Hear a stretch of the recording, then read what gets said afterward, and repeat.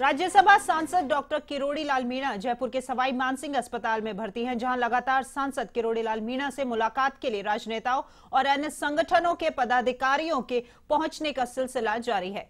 इस दौरान एसएमएस अस्पताल में लगातार वीआईपी मूवमेंट हो रहा है। इसी कड़ी में राजस्थान सरकार में मंत्री मुरारी लाल मीणा, बीजेपी सांसद बालकनाथ, राज्यसभा सांसद घनश्याम तिवाड़ी और गुजर समाज के नेता विजय बैसला ने एसएमएस अस्पताल पहुंचकर डॉक्टर किरोड़ी लाल मीणा से मुलाकात कर उनके स्वास्थ्य की जानकारी ली।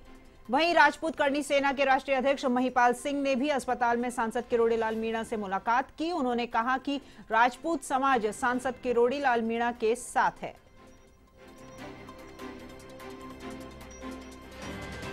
राज्यसभा सांसद डॉक्टर किरोड़ी लाल मीणा से मिलने के लिए लगातार वीआईपीज पहुँच रहे हैं अस्पताल और इस खबर पर अधिक जानकारी के लिए जुड़ते हैं हमारे जयपुर संवाददाता मलखान के साथ में।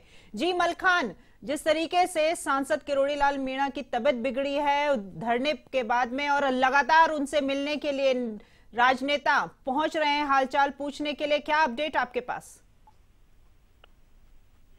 देखिए, बिल्कुल राखी जी, जिस तरह से सांसद किरोड़ी लाल मीणा जब वीरांगनाओं के साथ धरने पर बैठे थे तो उसके बाद में जब पुलिस द्वारा जो उनके साथ बर्ताव किया तो उनकी तबीयत खराब हो गई। उसके बाद उन्हें जयपुर एसएमएस अस्पताल में एडमिट कराया है।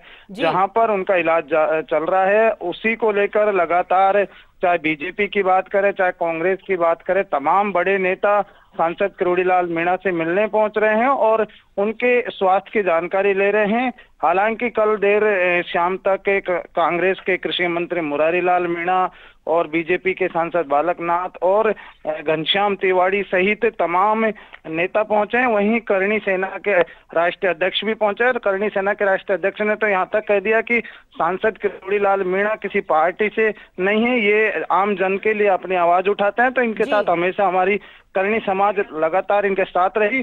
तो ऐसे में लगातार सांसद किरोड़ी लाल मीणा के स्वास्थ्य की जानकारी लेने के लिए तमाम जो बड़े नेता हैं, वो धीरे धीरे पहुँच भी रहे हैं और जानकारी भी ले रहे हैं। और कुछ कांग्रेस के विधायकों ने तो अपनी फेसबुक के पोस्ट पर डाला है कि जिस तरह से पुलिस ने जो बर्ताव किया है, वो एक जनप्रतिनिधि के साथ इस तरह से नहीं करना चाहिए। तो ऐसे में मुख्यमंत्री अशोक गहलोत को इस पर संज्ञान लेना चाहिए। ये तमाम तरह के जो राजनेता हैं, बड़े नेता हैं, वो पहुँच रहे हैं और सांसद किरोड़ी लाल मीणा के स्वास्थ्य की जानकारी ले रहे हैं। जी जी, धन्यवाद मलखान आपका।